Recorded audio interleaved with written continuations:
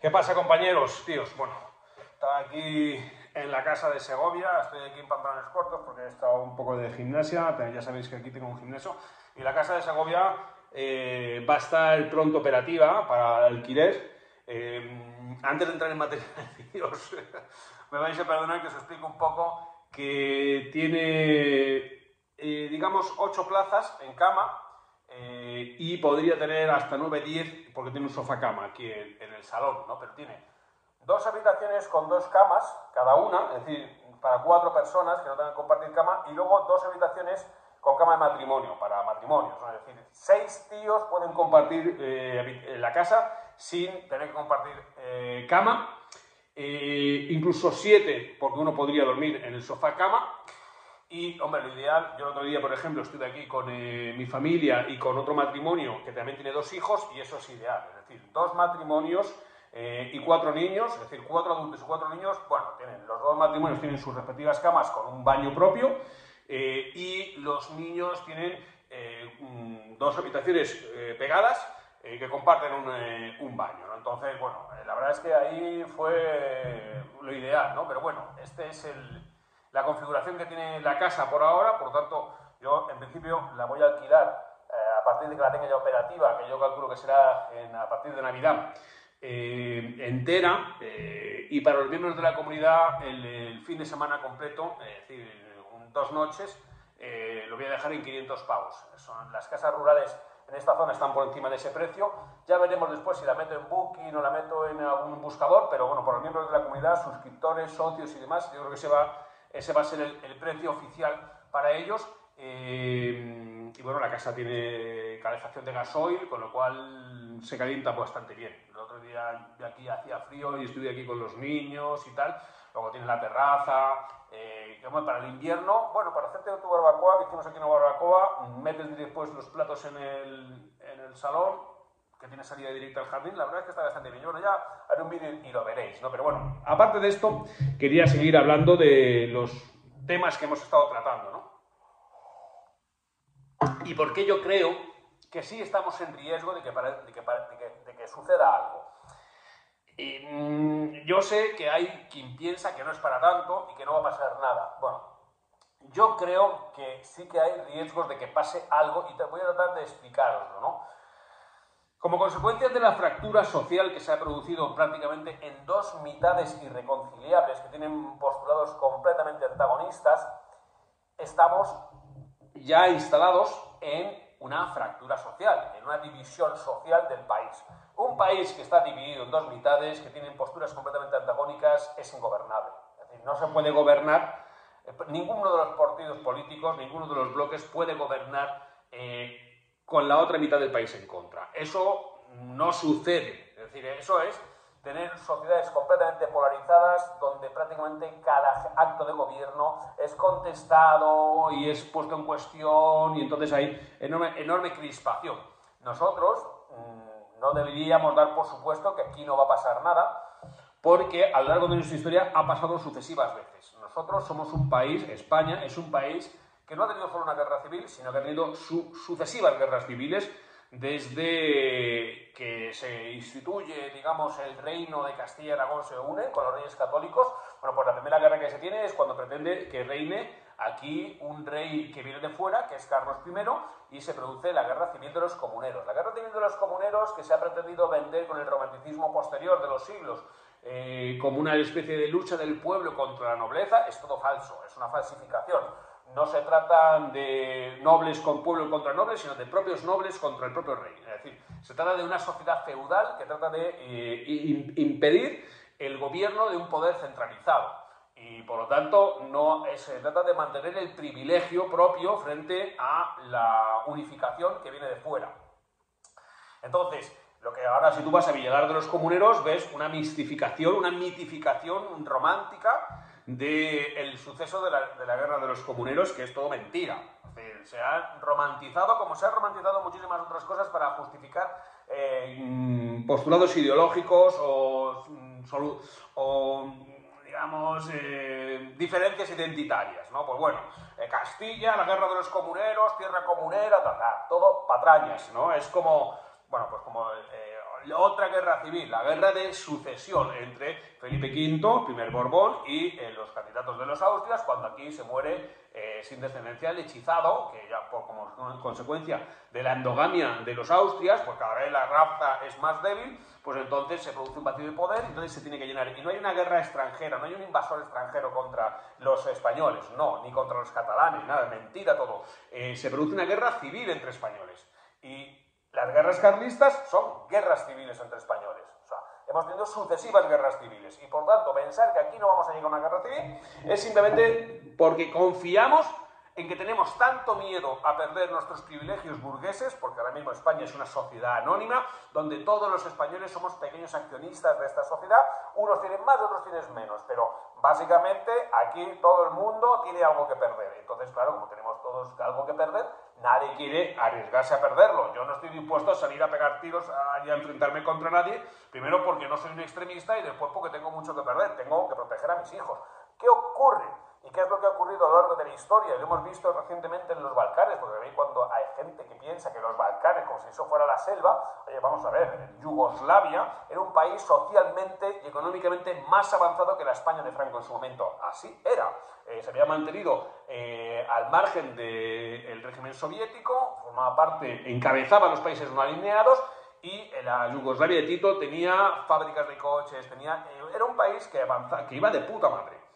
Entonces, y que tenía peso internacional. Y eran gente que vivían en casas, en pueblos, no vivían en chozas y iban matándose por ahí. No, eran gente completamente normal, occidentales. Tú vas por Serbia hoy, tú vas por Macedonia, tú vas por Croacia. Son tíos completamente normales, europeos, blanquitos, ¿sabes? Culturalmente más parecidos a los alemanes eh, que nosotros.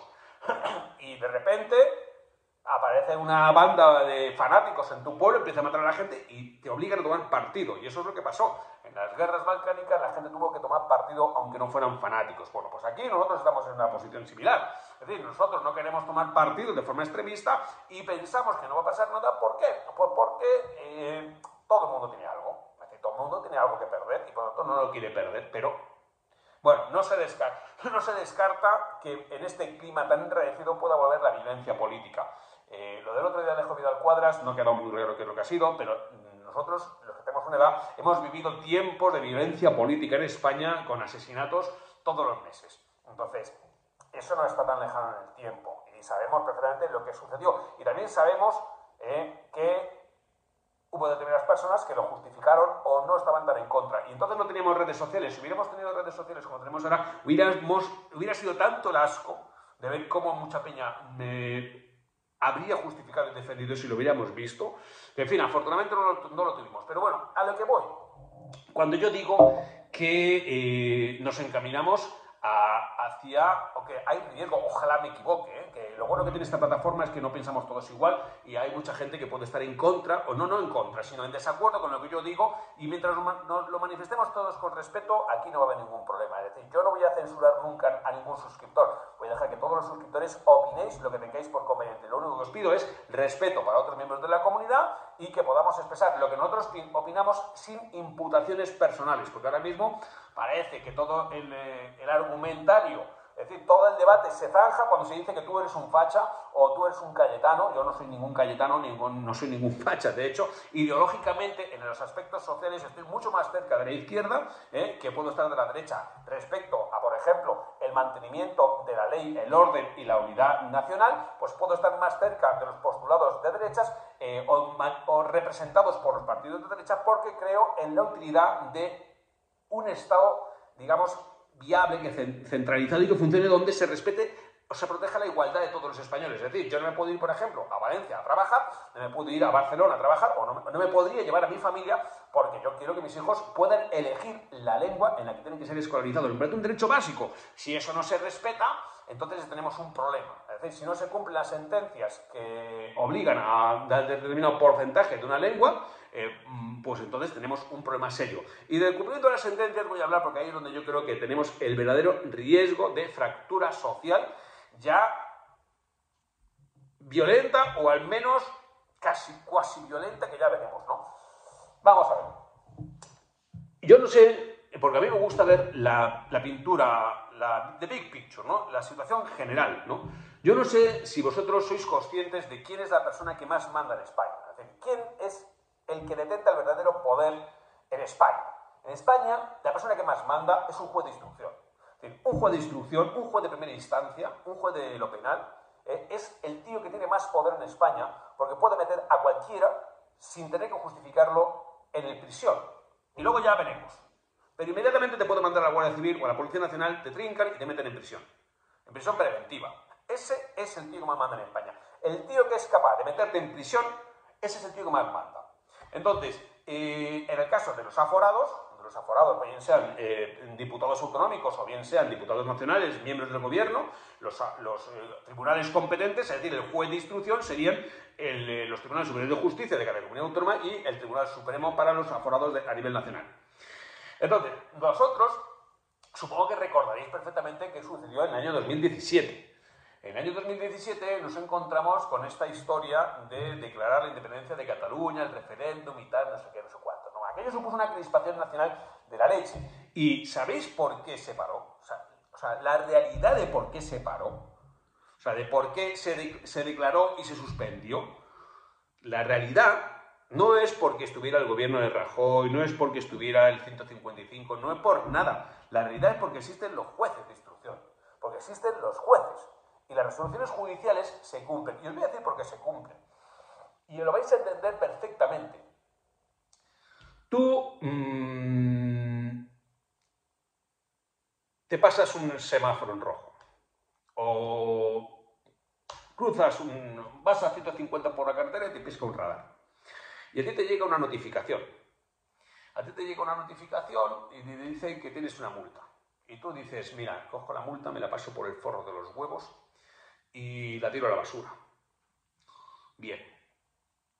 Si tú no pagas la multa, si tienes una cuenta o tienes cualquier tipo de propiedad a tu nombre, paso a paso, según ese papelito, ese expediente administrativo vas subiendo escalones, te encuentras, como me pasó a mí, que de repente me llega una notificación de embargo de prácticamente 1.500 euros. Y tú puedes decir, me suda la polla, no lo pago. Y te quitan el, dinero de la cuenta. o te embargan la casa por 1.500 euros y se convierten en 2.000, en 3.000, en 4.000. Yo me salté eh, un, un radar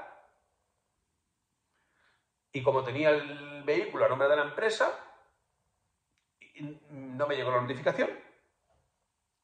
Y cuando me quise dar cuenta, de repente tenía un multazo, pero de flipar. Y tuve que pagarlo. Porque si no lo pago, me, cae más gorda, es decir, me embarga. Entonces, ¿qué es lo que sucede? Que cuando un juez dice que tú tienes que cumplir una resolución judicial, que es a un funcionario, ¿no? a un policía, Tú le dices, venga, por favor, mm, detenga a Menganito y me lo mete en el trullo. Y Menganito te dice, no, yo es que no voy a detener al, al, presidente Puigdemont, o al que sea. No le voy a detener eh, porque soy muy patriota, de lo que sea. Entonces el juez dice, ah, muy bien. Y sin alterarse, simplemente ese papelito de desacato va subiendo escalones en la maquinaria administrativa y de repente te embarcan el sueldo. Y y entonces tú puedes decir, pues eh, es que no quiero que me embarguen el sueldo, pero eso, ¿dónde llega ese, ese oficio? Llega a una oficina bancaria. Y la oficina bancaria puede estar en Vilanova y la Geltrú. Y el director de Vilanova y la Geltrú puede decir, pues a mí no me sale de los huevos embargarle a este patriota, a este mozo de escuadra que no ha cumplido la resolución judicial, no me sale de los huevos, o a este funcionario militar no me sale de los huevos embargarlo. Ese papelito llega a a la sede central del banco. Y si la sede central no cumple, le embargan. O le meten en un... o le notifican al Banco de España y entonces le impiden que por incumplimiento o desacato, pues bueno, intruyen al tío y entonces le embargan ese también por no cumplir la norma. Y al final, tú tienes que cumplir las normas porque las consecuencias de no cumplirlas son que tu vida se jode, porque tú no tienes el montón de pasta guardado en, eh, debajo del armario, o sea, debajo del colchón. Tienes eh, una vivienda en propiedad, o la tienes, en fin, está cogido por los huevos. En esta sociedad estamos cogidos por los huevos y por lo tanto cuando alguien te dice que tienes que cumplir, un juez, ¿no? dice que tienes que cumplir por cojones, tú tienes que cumplir por cojones. Esta introducción es para que quiero que, entendáis por qué los más, los más poderosos de España son los jueces que forman parte del Poder Judicial. Y cuando el Poder Judicial, a cada juez individual, le llega una ley redactada con los pies, como es la ley de sí es solo sí es sí, ya puede decir la exposición de motivos lo que le salga del coño a Irene Montero o a sus amigas del Ministerio de Igualdad, que como en el articulado eso no esté correctamente expresado, redactado y con la técnica jurídica eh, adecuada, los jueces te, van a, te la van a interpretar y de repente van a empezar a reducir penas o a escarcelar peña y tú dices, eh, los jueces son fachas, los jueces son machistas, no sé pero el, el efecto concreto es que empiezan a reducir penas y el funcionario de prisiones, el director de la cárcel, cuando le llega la notificación de, judicial de que a ese tío hay que soltarlo, ya puede decir, ya podría descolgar Irene Montero el teléfono y decir, mire, soy, soy, la ministra, usted no suelte a ningún violador, no suelte a nadie porque se tiene que quedar en la cárcel todo el tiempo que diga yo. Ya el, director de la cárcel dice, mira, es que yo tengo aquí un, eh, un oficio, tengo aquí una resolución judicial y me dicen que ese tío tengo que soltarlo. Entonces dice, no, no, es que yo te digo, soy el gobierno, yo soy la representante de la soberanía popular, soy tal, no sé unos cuantos, y el mandato que tenemos de la sociedad es que... Está llamando mi mujer.